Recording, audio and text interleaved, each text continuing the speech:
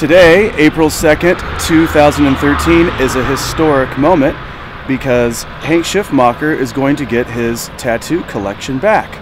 Right now, Anne Marie and tattooists from Tatacan City are already inside uh, deinstalling the collection for its new home, which we'll have news about that soon.